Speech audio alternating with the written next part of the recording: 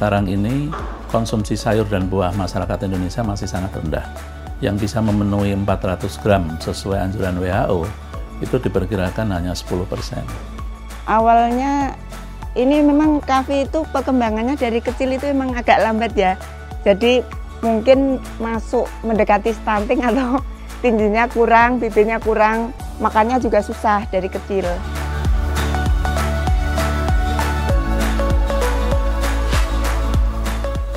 Sebenarnya konsep kegiatan Desa B2SA ini adalah gambaran dari uh, tiga aspek ketahanan pangan di desa.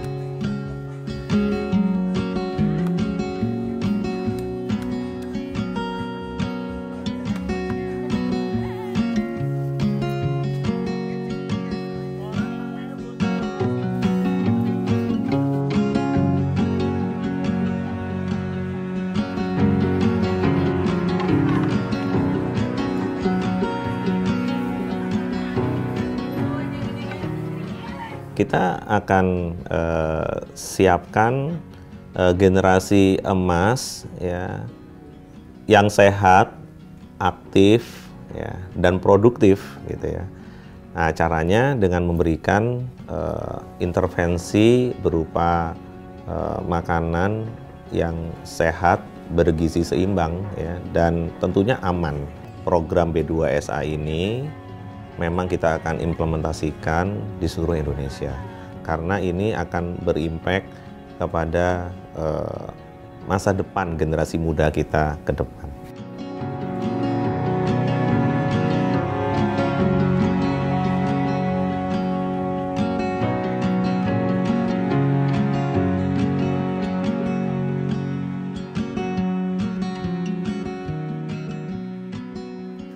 Kita yang pertama ingin mendapatkan generasi manusia ke depan ya yang eh, sehat, aktif dan produktif. Ya itu yang pertama.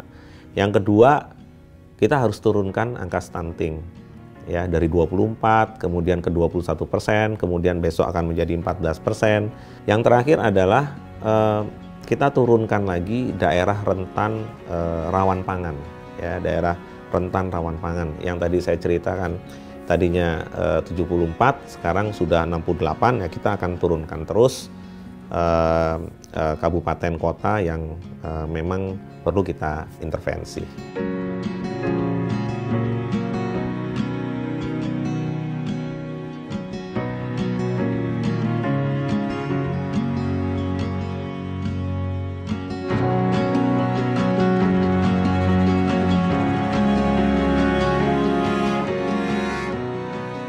Satu uh, isi piring itu seharusnya sepertiga adalah makanan pokok atau karbohidrat.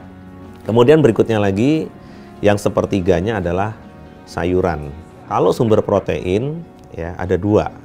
Kenapa namanya lauk dan pauk ya? Lauk itu sumber protein dari hewani. Yang namanya pauk itu adalah sumber protein nabati. Sepertiga karbo, sepertiga sayur, seperenam e, lauk pauk, yang seperenam lagi adalah buah-buahan.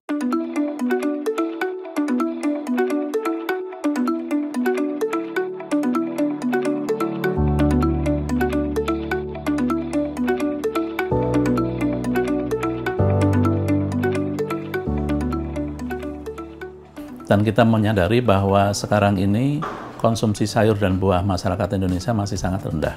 Yang bisa memenuhi 400 gram sesuai anjuran WHO itu diperkirakan hanya 10 persen.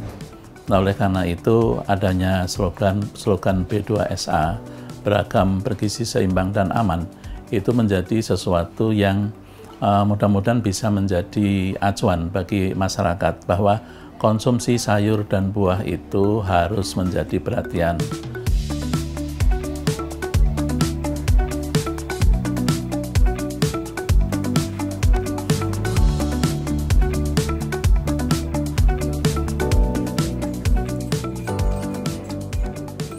Jadi kita selalu menekankan apa yang disebut dengan seribu hari pertama kehidupan, di mana itu adalah sembilan bulan di dalam kandungan, ditambah dua tahun setelah dilahirkan. Itu adalah upaya yang ideal bisa dilakukan untuk mengatasi stunting dan dampak buruknya terhadap perkembangan otak seseorang. Jadi kalau dalam waktu dua tahun itu bisa dilakukan intervensi dengan pendekatan pangan tadi, maka harapannya adalah yang pulih bukan hanya tinggi badan seorang anak, tetapi juga proses memburuknya perkembangan anak juga bisa dicegah.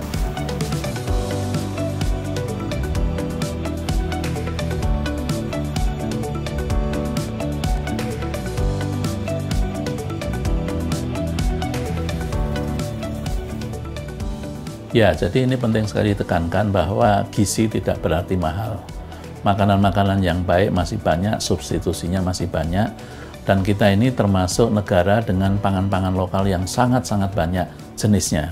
Tinggal bagaimana kita mengusahakan agar itu ketersediaannya di masyarakat.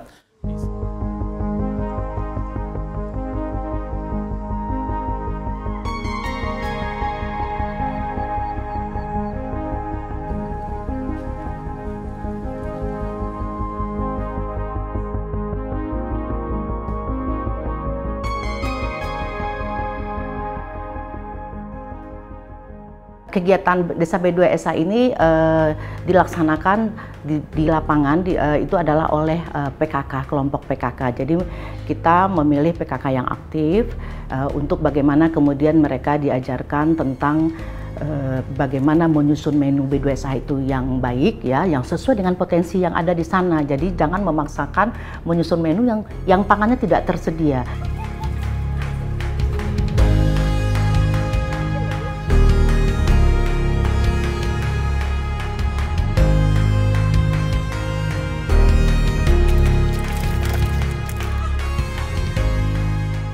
Sebenarnya konsep kegiatan Desa B2SA ini adalah gambaran dari uh, tiga aspek ketahanan pangan di desa.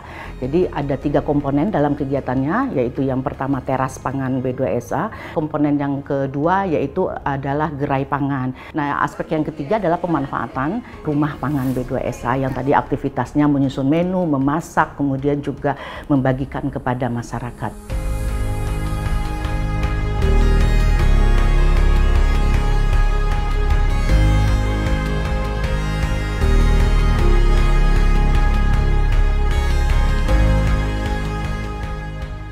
Sejauh ini eh, tahun lalu kami sudah memulai eh, diawali dengan lima lokasi percontohan, kemudian kita replikasi menjadi 75 lokasi di 32 provinsi di Indonesia dan kemudian di 2024 ini kita akan kembangkan menjadi 175 desa.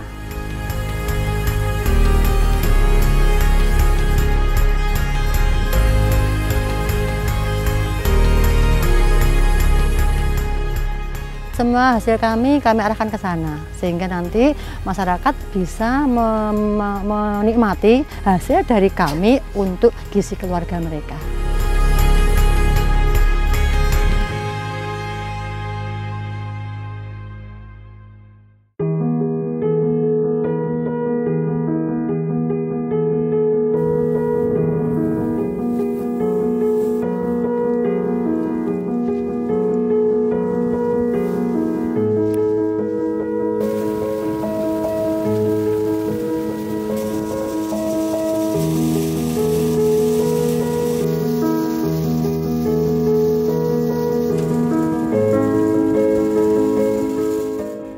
Tahun kemarin kita akan mengembangkan dua uh, desa B2SA.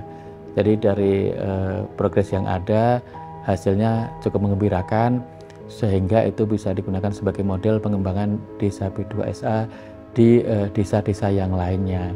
Tentu uh, replikasi ini uh, membutuhkan dukungan dari berbagai pihak. Nah, tahun ini uh, dari uh, Bapanas mengalokasikan empat lokasi desa.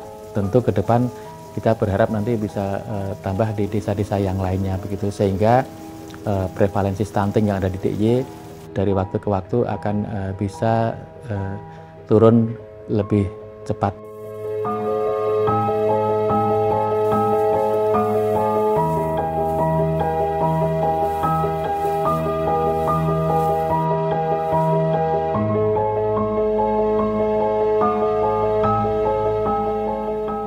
Jadi desa Beji Harjo dipilih karena merupakan salah satu desa dengan uh, prevalensi stunting uh, yang masih relatif tinggi di DIY begitu. Kemudian desa Jatimulyo dipilih karena memang uh, salah satu desa yang uh, merupakan desa rentan pangan begitu. Kami memastikan bahwa program ini adalah program milik masyarakat. Tentu karena ini milik mereka dan dirasa kemanfaatannya bagi mereka, mereka tentu akan berusaha untuk bagaimana program ini tetap bisa berlanjut.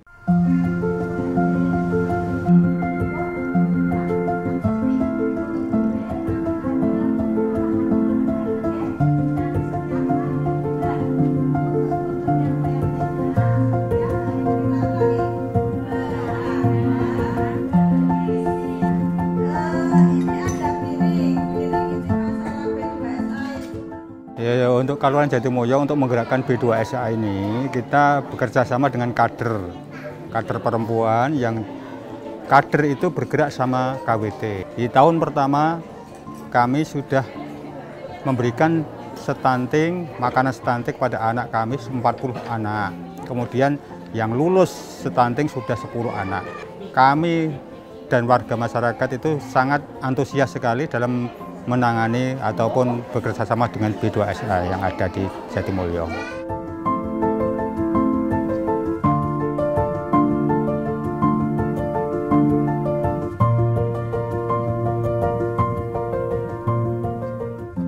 Warga sangat senang sekali, antusias sekali, dan sangat membantu pada B2SA dalam menanam sayuran, dalam menanam padi dan sebagainya sehingga pasokan yang ada di B2SA tercukupi.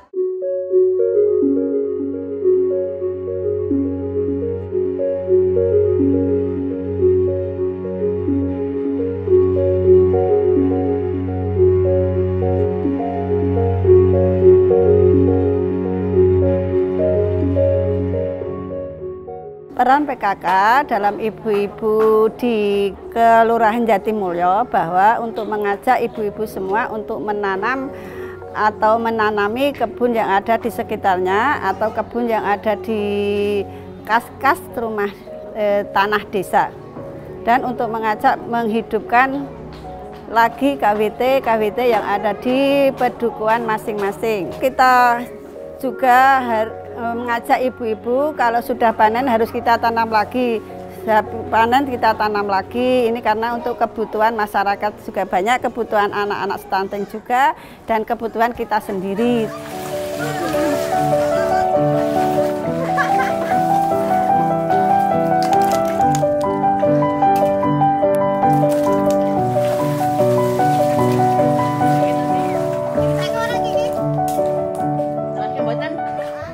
Sebelumnya kadang-kadang kita hanya mengalir ya seadanya, modal seadanya, eh, pakan seadanya. Dengan adanya program Terspan B2SA ada support Terima kasih dari pemerintah diberikan tambahan modal, diberikan tambahan untuk beli pakan, bahkan pengembangan kolamnya yang dulu nggak ada jadi satu, jadi dua dan mungkin ke depan jadi tiga dan sebagainya. Jadi terima kasih sekali uh, supportnya untuk kami.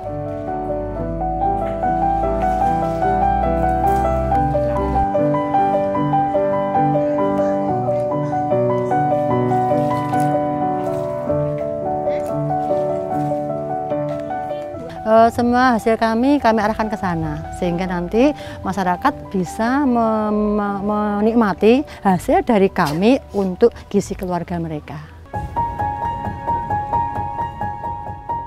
Nama saya Ibu Surtiningseh, saya berumur 45 tahun. Profesi saya setiap hari ibu rumah tangga sama ya itu nanam di kebun itu sebagai ibu petani lah. Saya menanam singkong, cabai, terong, sama itu jagung. Saya memilih itu karena kebutuhan sehari-hari itu bisa dipakai itu kalau sayuran ya buat memenuhi sayuran kalau ketela itu bisa untuk buat apa itu pacitan setiap hari setiap pagi itu.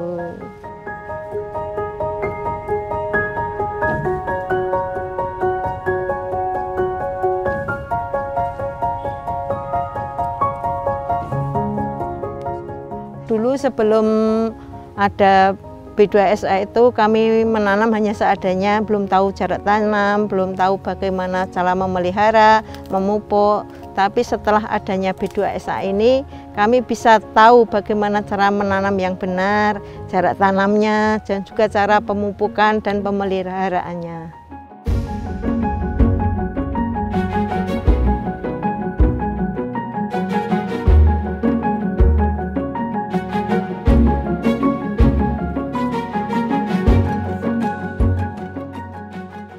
Kami kan mempunyai kelompok KWT. Jadi KWT itu mempunyai 25 anggota. Terus yang itu semuanya bisa setiap mau nanam, mau panen, semua dipanggil untuk mengerjakan itu.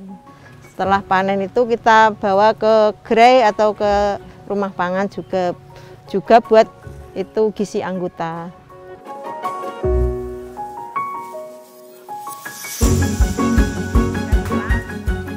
Anak-anak itu sukanya itu sayur yang kita uh, kombinasi se uh, seperti ada sosisnya. Selama ini insya Allah kalau sosis itu kita bikin sendiri, nggak beli, jadi aman untuk anak-anak, nggak ada apa pengawetnya.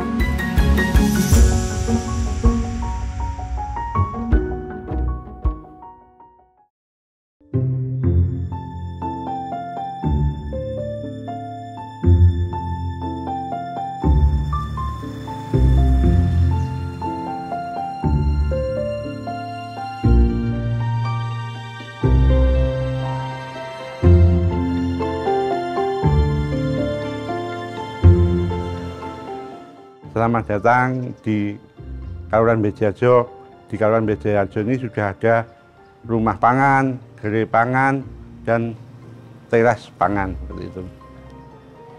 Dan juga saya mengucapkan semoga semua ini nanti bisa bermanfaat bagi warga masyarakat Bejajo.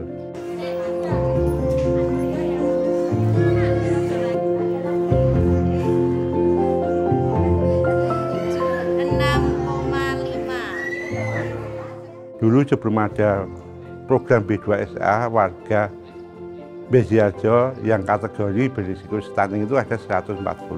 Tapi setelah ada program B2SA, sekarang sudah menurun menjadi 115 kategori stunting.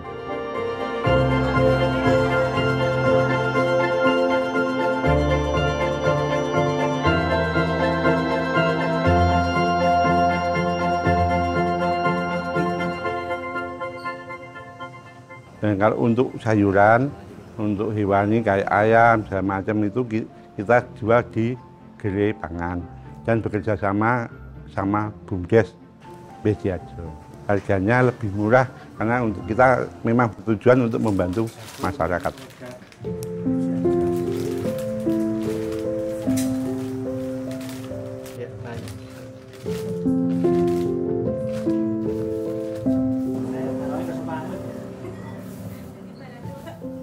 Pengoperasionalnya kan kalau kita membeli dari petani itu kan memang e, harga yang harga yang wajar agar masyarakat pada saat panen tidak terjadi penurunan harga kita stabilkan oleh e, pembelian dari BUMDes. Terus nanti kita jual di sini juga tidak terlalu naik sehingga masyarakat mampu untuk untuk membelinya. Tidak semua titik itu menghasilkan produk yang sama, sehingga nanti bisa disatukan di sini dan nanti bisa mendapatkan produk dari pertanian itu secara mudah.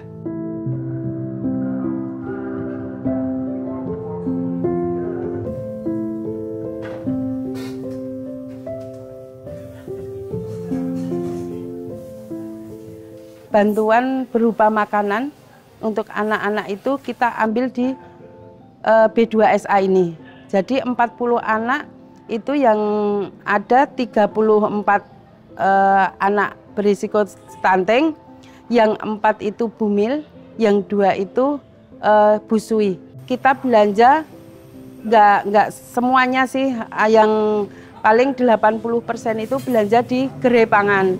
Setelah itu kita menyuruh ibu-ibu yang tugas, yang tugas itu datang ke rumah pangan untuk menyediakan dan masak memasak di balai desa ini.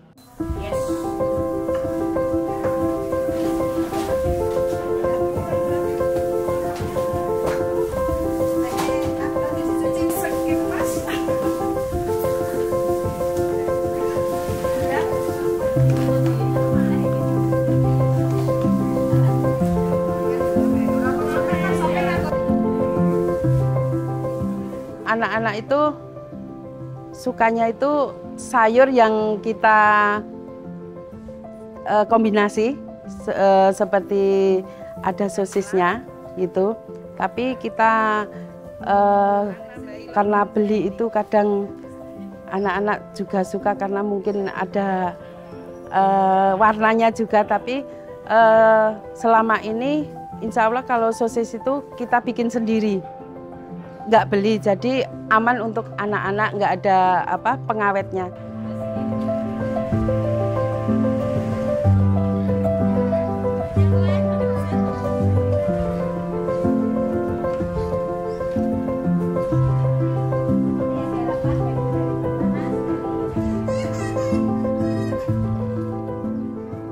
Di rumah pangan, selain kita membagikan makanan untuk PMT penerima manfaat, eh, kita juga menyedi, eh, mensosialisasikan agar mereka tahu di dalam satu piring itu ada eh, beragam, bergizi, seimbang dan sehat.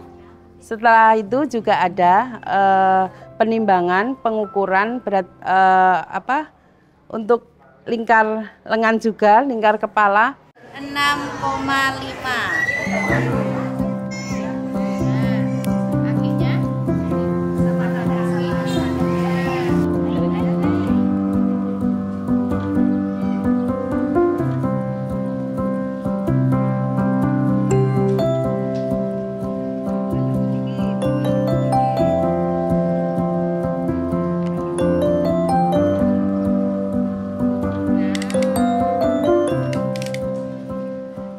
kita memperhitungkan kebutuhan zat gizinya dalam sehari. Kalau untuk balita itu kalorinya sekitar 1350, untuk proteinnya 20 gram, untuk lemaknya sekitar 45 gram, sama karbohidratnya sekitar 215. E, kalau untuk ibu hamil, kebutuhannya usia sekitar 19 sampai 49 itu sekitar 2150 sampai 2250 itu nanti ada tambahan sebesar 300 gram. Kemudian untuk proteinnya usia 19 sampai 49 itu sekitar 60 gram. Ada penambahan mencapai 30 gram. Jadi totalnya untuk ibu hamil sekitar 90 gram.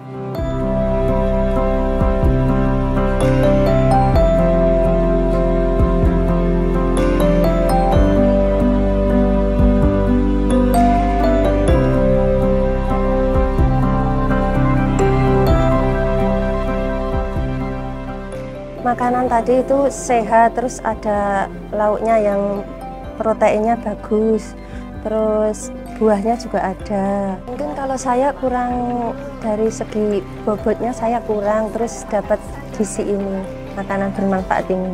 Usia kandungan saya baru tiga bulan terus adanya acara ini mungkin kandungan saya bisa lebih sehat terus bermanfaat. Saya berharap adanya acara ini supaya besok kalau udah lahiran anak saya bisa menjadi lebih sehat dan perkembangannya tambah bagus.